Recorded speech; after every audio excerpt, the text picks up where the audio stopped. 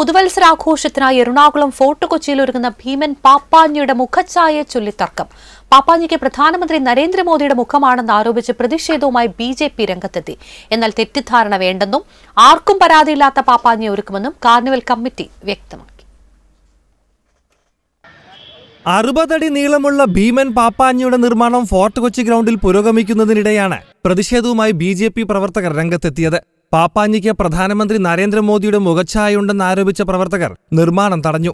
ഈ രൂപത്തിൽ പാപ്പാഞ്ഞിയെ പുതുവത്സരാഘോഷത്തിന് കത്തിക്കാനാവില്ലെന്നും പ്രവർത്തകർ നിലപാടെടുത്തു. ഇന്നിവിടെ ഈ കാണിച്ച ഈ ഒരു പ്രവൃത്തി ഒരിക്കലും നമുക്ക് അംഗീകരിക്കാൻ വേണ്ടി സാധിക്കില്ല കാരണം രാജ്യത്തിന്റെ പ്രധാനമന്ത്രിയെ അപമാനിക്കുന്ന ഒരു പരിപാടിയാണ് കാർണിവൽ കമ്മിറ്റിയുമായി ബന്ധപ്പെട്ട ആർട്ടിസ്റ്റുകളോട് ഈ കാഴ്ചവെച്ചിരിക്കുന്നത്.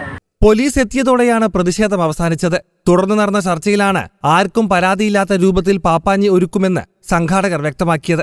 എല്ലാവരോടും ചർച്ച ചെയ്തുകൊണ്ട് ഒരു ആക്ഷേപമില്ലാത്ത രീതിയിലേക്ക് ഒരു മുഖം കയറ്റി വളരെ ആഹ്ലാദത്തോടുകൂടി ഈ ആണ്ടുറപ്പ് ആഘോഷിക്കാനായിട്ടാണ് ഈ യുവ സംഭവങ്ങൾ ഒരിക്കലും ഉണ്ടാകാൻ ഇതിനകത്തുണ്ടായ തെറ്റുകാരണമാണ് എല്ലാവരും മാറ്റണം. കൊച്ചിൻ കാർണിവൽ കമ്മിറ്റിക്ക് വേണ്ടി സ്വകാര്യ ഏജൻസിയാണ് ഇത്തവണ പാപ്പാഞ്ഞിയെ ഒരുക്കുന്നത്. നിർമ്മാണം ഇപ്പോൾ അവസാന ഘട്ടത്തിലാണ്. കോവിഡ് മഹാമാരിയെ കീഴടക്കിയ പാപ്പാഞ്ഞിയെയാണ് ഇത്തവണ ഒരുക്കുന്നത്. ഏഷ്യാനെറ്റ് ന്യൂസ് കൊച്ചി.